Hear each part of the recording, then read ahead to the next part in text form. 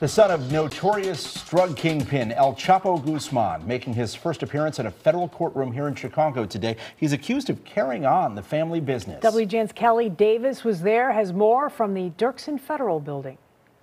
El Chapo's son was flown to Chicago on Friday, and today he stood before a judge and pled not guilty to all charges during his arraignment.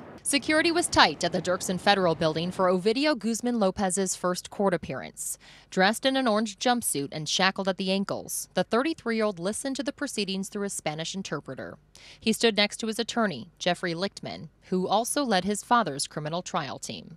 He's articulate, um, he's smart, and uh, he's, you know, I'm, I'm, proud to represent him. Guzman Lopez faces a slew of charges, including drug trafficking, money laundering, and leading a criminal enterprise. The prosecution is seeking life in prison, agreeing to take the death penalty off the table. The evidence against the sons uh, is not necessarily the evidence against the fathers. Uh, the father's been in prison since, you know, it's been about eight or nine years by now, so things have changed dramatically in terms of the evidence. So I've got to review a completely different case. The indictments detail how Guzman Lopez and his brothers steered the cartel into synthetic drugs such as meth and fentanyl following their father's imprisonment in 2019.